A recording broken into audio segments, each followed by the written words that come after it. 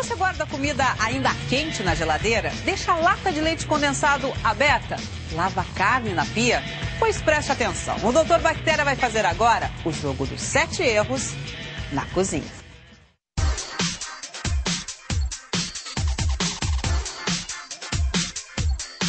Você costuma deixar a comida esfriando antes de guardá-la na geladeira ou lavar as carnes que vão para a panela? Por que você está lavando a carne? Porque é nojento. São pecados como esse que a gente acaba cometendo no dia a dia sem perceber. E muitos desses hábitos errados nós vamos demonstrar agora para vocês.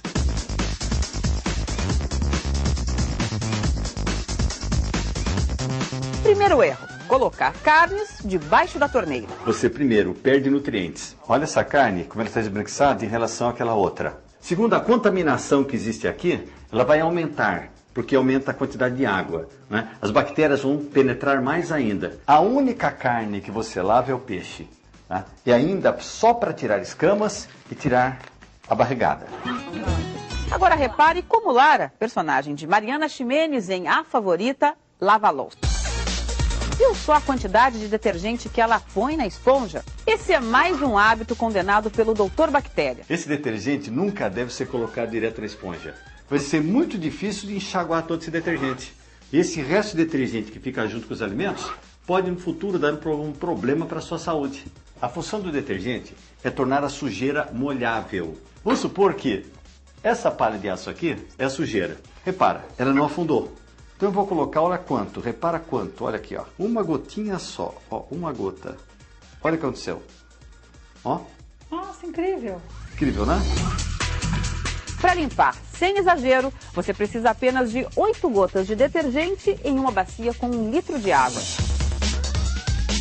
Outro deslize na cozinha: usar tábua de carne de madeira. A tábua de madeira, isso daqui, as bactérias estão te aplaudindo. Tábua, sempre de plástico. Muita gente também evita guardar comida quente na geladeira. Porque vai estragar a geladeira e vai estragar a comida. Quem te falou isso? Minha mãe. Doutor Bactéria derruba um dos mitos mais difundidos entre as donas de casa. O único problema que pode existir é que vai aumentar um pouquinho o consumo de energia, né? mas não vai estragar a geladeira de modo algum. Mas nada disso adianta se você guardar na geladeira o recipiente tampado. O ar frio vai bater na tampa, vai demorar muito para resfriar, as bactérias vão adorar. Então o que, que você faz? Você vai me colocar tudo destampado. Destampado. Depois de duas, duas horas, horas é que você vai fechar. Vamos ao quinto erro. Pessoas pegam uma lata de leite condensado e fazem dois buraquinhos minúsculos, um de cada lado. Repare que só sai um fiozinho. E a pessoa não pensa duas vezes. Leite condensado por um lado e pelo outro entra uma chuva de bactérias. Abram a lata inteira, use um recipiente que pode ser de plástico ou de vidro e sempre sirva com uma colherzinha.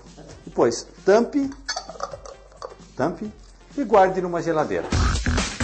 E quando se fala em doce, a gente não pode esquecer das formigas. Você provavelmente não se importaria se encontrasse uma formiguinha em cima do seu bolo, não é?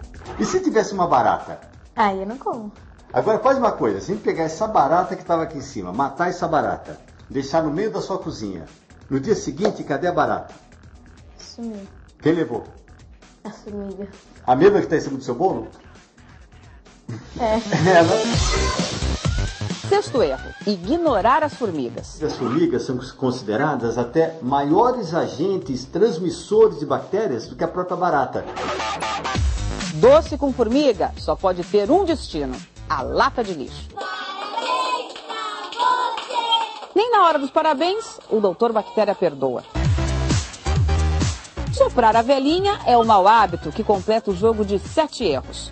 O teste comprovou que o bolo estava contaminado por bactérias de saliva. Esta bactéria ela produz uma toxina e pode ocasionar aquelas intoxicações com 24 horas de vômito e mal-estar.